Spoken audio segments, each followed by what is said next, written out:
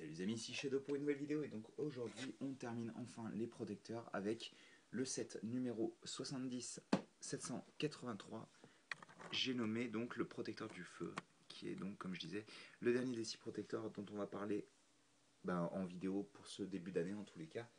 Et euh, ben, la boîte comme je dis à chaque fois euh, c'est une boîte qui ressemble assez au concept qu'on a eu donc avec les Speeders en euh, début et milieu d'année 2014 donc. Et euh, c'est plutôt sympa.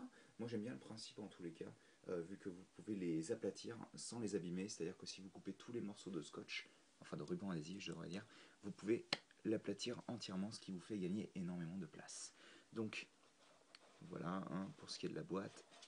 À l'arrière, on va retrouver les informations habituelles, donc le fait de pouvoir retirer le masque en appuyant sur l'arrière de la tête, le fait de pouvoir attacher un masque araignée, donc le lanceur en rafale, ainsi que euh, votre, votre masque en 1-1, et le combo avec euh, Tahu, le maître du feu. La boîte, on la dégage. Merci. Et donc, on va parler du mode d'emploi. Donc, mode d'emploi qui reprend un peu le même principe que celui du protecteur de la jungle, c'est-à-dire qu'on tronque un peu l'image pour pouvoir avoir un gros plan sur le protecteur du feu, qui d'ailleurs tire sur une araignée, mais derrière il y en a une autre qui apparaît, donc euh, il a intérêt à faire attention à ses miches. Donc on a la BD avec Tahu et le protecteur du feu, qui d'ailleurs n'est pas indiqué à l'arrière de la boîte, parce que bon, c'est quand même pas très vendeur de mettre le protecteur du feu qui se fait contrôler en deux cases, quoi. Ensuite on a donc 27 étapes, donc je pensais que c'était euh, le protecteur de la glace le plus long, mais non, apparemment non. Euh, le la liste des pièces, je vais y arriver, le poster que vous retrouverez à chaque fois, le combo avec Tahu, et enfin les citois présentés ensemble, et la gagne. Donc ça, on va le mettre sur le côté, et je vais pouvoir vous présenter les nouvelles pièces. Nouvelles pièces qui, euh, en tous les cas, pour le protecteur du feu, protecteur du feu, excusez-moi, euh, ne sont pas en grand nombre. Donc premièrement, on va retrouver la tête comme, euh, comme sur le protecteur de la glace, donc le même système d'éjection comme ça, avec le cerveau qui est placé donc sur pivot, le ball joint comme ceci, donc enfin le ball cup je devrais dire, et euh, les attaches sur les côtés. Voilà pour pouvoir placer le masque. Ensuite on va retrouver aussi notre armure en un seul exemplaire, donc sur le protecteur du feu, en argenté encore une fois, vu que les protecteurs n'ont pas de doré sur eux. Voilà. Vous la connaissez maintenant, je pense. Ensuite, on va retrouver donc euh, le lanceur en rafale, le fameux, donc qui est constitué de deux pièces qu'on ne peut pas vraiment séparer, avec les six tenons. Voilà. Donc, euh, vous aurez remarqué, ils sont en transnéon orange. On va retrouver aussi la patte d'araignée que vous connaissez, elle est disponible dans quasiment tous les sets de la, de la gamme, sauf euh, Lord of Skull Spider. Le meilleur, quoi. Et ensuite, les masques. Donc, on a notre masque des araignées qui est très sympathique. Ma couleur préférée, comme je l'ai déjà dit plusieurs fois. Et enfin, bien entendu, le masque du protecteur du feu lui-même, qui est très sympathique, qui reprend bien l'élément, encore une fois, même si j'aurais préféré du trans orange, ça aurait mieux rendu avec son schéma de couleur générale. Enfin, sinon, vraiment très sympathique. Moi, j'aime bien en tous les cas. Il rend plutôt cool. Donc, euh, comme vous avez pu le constater, le protecteur du feu, c'est quand même pas celui qui a le plus de pièces nouvelles à proprement parler. Par contre, il a quand même quelques pièces intéressantes. Et on va voir ça lors de la construction. Donc, on va rapidement. Donc, j'aurais dû le faire hors caméra. Ça, vu que c'est pas très intéressant. Donc, on a déjà notre araignée. Voilà. Et on va faire un focus sur le plan regarde large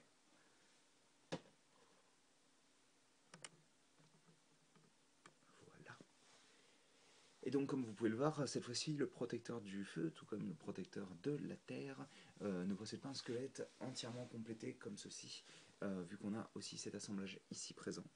Donc, pièce qu'on a déjà vue sur le protecteur de la glace et qui est assez connue quand même maintenant. Donc, qui forme une sorte de V avec les pattes qui repartent en arrière. Donc, cet ensemble-là, on va pouvoir l'attacher dans le dos du protecteur de cette manière-là, comme ceci donc vérifions tout de même que euh, c'est bon. J'ai un vieux doute. Non, c'est bon. J'aime bien aussi quand il tient le pauvre. Donc vous remarquerez entre autres les deux mains trans orange, euh, ce qui est... Alors j'aime bien quand ça fait pas des conneries. Voilà. Ce qui est euh, quand même assez, assez rare pour être noté, je pense, vu qu'elles sont apparues que dans 2 sets, je crois. Si je vous dis pas de bêtises, c'est des mains qui sont disponibles uniquement dans les Shima de cette année, enfin de l'année 2014, je devrais dire. Donc bon. on va placer donc nos armures et d'ailleurs, je vais placer la tête tout de suite. Voilà. On va placer nos armures, donc comme je le disais, euh, sur le protecteur. Donc, sur les bras et les jambes, on retrouve exactement les mêmes armures en transnéon orange. Et vous commencez à comprendre, je pense, pourquoi je vous parlais du transnéon orange sur le masque. Et euh, sur les euh, des bras, enfin ce qui devrait être les bras de base, on place ces pièces-là. On va les laisser ouvertes vu que notre seul rajout d'armure à proprement parler, donc celui-ci, va venir se placer sur le torse, cachant la seule pièce rouge euh, pratiquement entièrement, donc on peut la voir encore un petit peu à travers l'armure, mais sinon c'est quand même assez, assez basique quoi. Et, euh, et donc on a notre torse qui est complet, ainsi que pratiquement notre protecteur, vu que la seule chose qui nous reste à faire c'est placer le masque comme ceci. Et donc, encore une fois, vous remarquerez que le protecteur de la, du feu pardon, excusez-moi, euh, ne possède pas de, de. Et ce sera un peu plus embêtant que le protecteur de la glace, étant donné que moi je trouve perso que les proportions sont pas géniales, premièrement.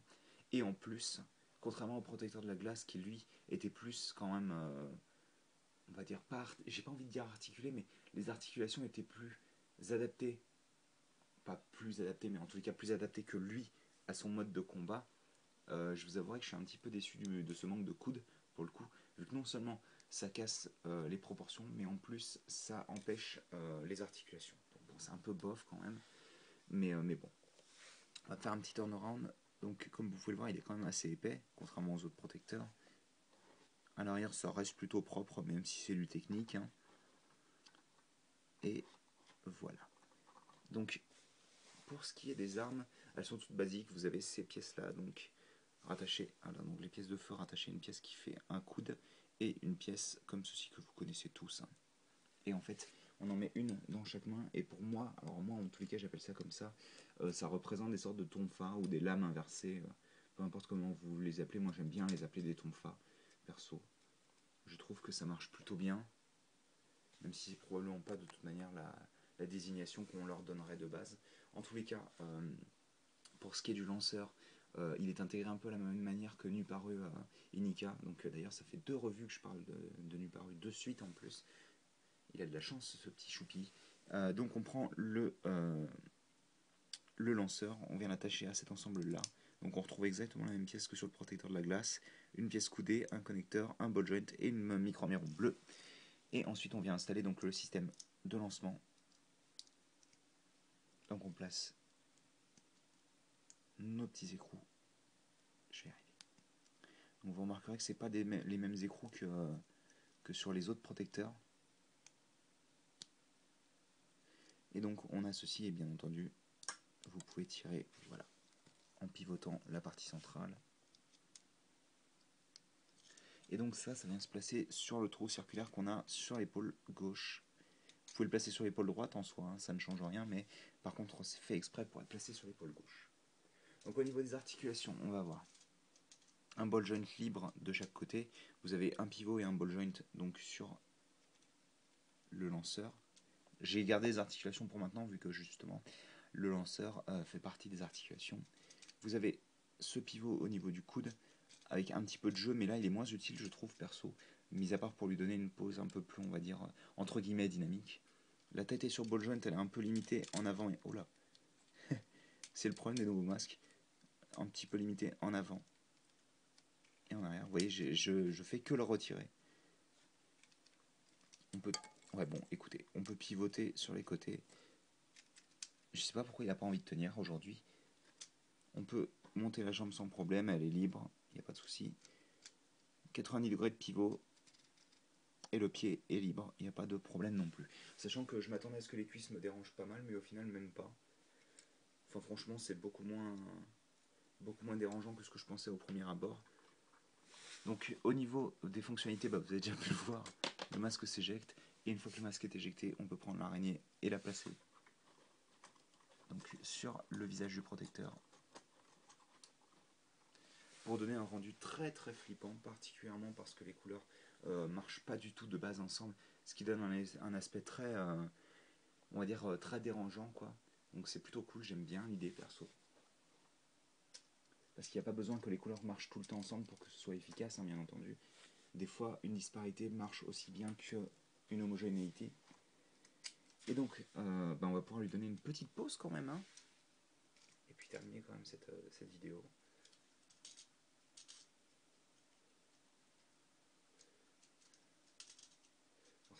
C'est vraiment difficile de le poser ce personnage quand même. Hein. parce qu'à cause de ses bras trop courts, il rend pas forcément bien avec ses tonfas quoi.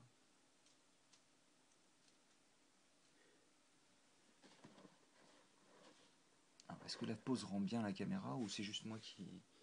Bon, ça va, ça a passer en tous les cas.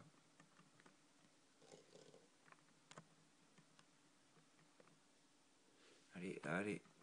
Merci. Hop. Et donc, le protecteur du feu, pour moi, en tous les cas, c'est le protecteur qui est, on va dire, le moins bon des 6, pour deux raisons principalement. Alors, déjà, premièrement, il n'a pas beaucoup de nouvelles pièces. Il a des pièces intéressantes, mais il n'en a pas beaucoup de proprement nouvelles ou exclusives à son set, on va dire. Et euh, deuxièmement, euh, moi, il y a quelque chose qui me gêne tout particulièrement, c'est vraiment ses coudes. Parce que le schéma de couleur, c'est plus, on va dire, un parti pris Hein, c'est quelque chose de, on va dire, de, particulier, certes, parce que vous allez avoir du noir, du orange transparent partout, et là par contre du rouge est un peu sur le corps, et de l'argenté donc sur ce corps qui est présent que sur le corps d'ailleurs. Mais le coup des articulations, moi personnellement, je trouve quand même que c'est un peu gros, euh, dans la mesure où franchement il y avait moyen de faire autrement. Alors certes, c'est pas simple. Ça, j'ai essayé personnellement de faire plusieurs choses différentes j'ai pas réussi à trouver quelque chose qui me convenait. Mais perso, j'aurais pas laissé, euh, j'aurais pas laissé un set comme ça dans la mesure où pour moi, euh, avec les tons fins en tous les cas, il manque cruellement d'articulation parce que vraiment, pour lui donner de bonnes poses, eh ben, il faut se réveiller tôt. Moi, je vous le dis, euh, c'est vraiment pas simple du tout. Donc c'est un peu dommage parce qu'il est assez frustrant, moi, je trouve, à, articuler, contrairement aux autres protecteurs qui sont vraiment un, vrai bonheur, quoi. Donc c'est un peu dommage, je trouve. Par contre, au niveau de ce qui est bien très clairement le torse est vraiment très cool et d'ailleurs la preuve ils l'ont même repris euh, pour les designs euh, en vidéo de Ekimu et Makuta quoi. Euh, et, franchement ouais non il rend du tonnerre quoi. au niveau des jambes je suis pas déçu, je pensais que ce serait pire mais franchement ça passe. le lanceur sur l'épaule ça va ça passe c'est pas génial non plus mais c'est cool quoi. Et, bon le masque rend bien même si comme je disais j'aurais préféré du trans orange que la seule autre partie où on trouve du trans jaune ça va être euh, les, les tons fins en eux-mêmes, avec des pièces qui étaient déjà sorties de toute manière. Donc franchement, euh, je trouve quand même que ça aurait été mieux de l'adapter aux couleurs de son, son, armure plutôt que... J'aimerais bien que tu tiennes s'il te plaît. Merci. Euh, aux couleurs de son armure plutôt que les, les couleurs de son... de, de, ses armes. Mais bon, bref. Enfin, en tous les cas, moi je vais pas je vais pas vous donner dire si je vous le recommande ou pas. Je pense que c'est plus à vous de décider pour le coup. Euh, si vous voulez vérifier les revues euh, photos que j'ai fait grâce à Bionifix, étant donné que c'est eux qui m'ont prêté les sets pour faire les revues, euh, n'hésitez pas à passer sur Bionifix dans la section actualité. Et nous, on se retrouve, je l'espère, très bientôt pour de nouvelles vidéos avec les maîtres et aussi Lord of Skull Spider. Voilà. Allez, à plus tard.